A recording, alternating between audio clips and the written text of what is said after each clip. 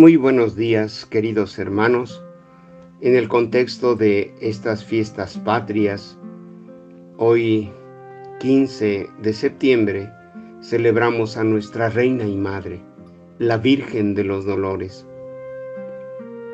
Podríamos imaginar lo que sentiría una mamá que en el día del bautismo de su hijo, después de escuchar lo hermoso que es todo este rito y de anunciarle que este niño será realmente alguien grande dentro de su pueblo, que será profeta, sacerdote, rey, templo de Dios, miembro de la iglesia, hijo de Dios, y le dijera, y a ti una espada te atravesará el alma. Pues esta fue la manera como se inicia este capítulo en la vida de nuestra Madre la Virgen María. Lo más tremendo es que por la forma en que está construida esta expresión, parece indicar que ese sufrimiento atroz que vivirá será precisamente a causa de su Hijo. María en su advocación de la Virgen dolorosa se convierte ahora en modelo de todas las mamás que sufren hasta lo indecible por amor a sus hijos, por el hijo que fue asesinado, por el hijo que se fue de casa, por el que murió en un accidente o a causa de esta pandemia, por el que es perseguido o por el que está gravemente enfermo.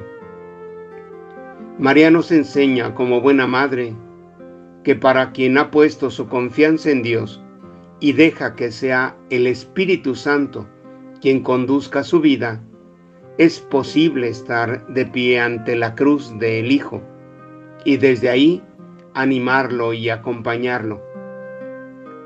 La Virgen María, nuestra Madre, la dolorosa, nos muestra que no hay dolor que no pueda ser vivido cuando uno se deja poseer totalmente por el amor de Dios.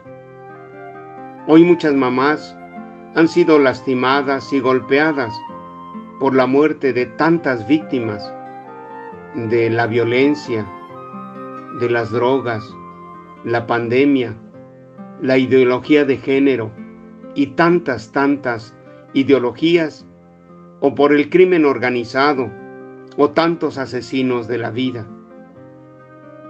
La fiesta de hoy nos invita a orar para que por la intercesión poderosísima de nuestra Santísima Madre, la Virgen María, como Reina Madre, corredentora, auxiliadora nuestra, pidamos por todas las mamás y las familias que sienten su corazón atravesado por una espada, para que encuentren en la misericordia de Dios y de María consuelo, fortaleza y esperanza.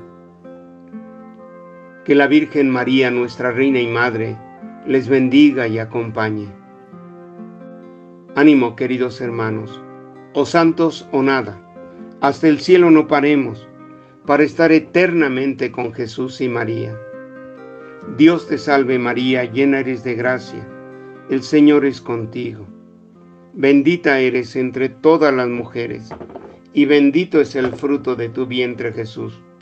Santa María, Madre de Dios, ruega Señora por nosotros pecadores, ahora y en la hora de nuestra muerte. Amén. Y la bendición de Dios Todopoderoso, Padre, Hijo y Espíritu Santo, descienda sobre ustedes, sus familias y necesidades, y permanezca para siempre. Amén. Y que vivan los sagrados corazones de Jesús y de María. Bendecida fiesta de mamá para todos.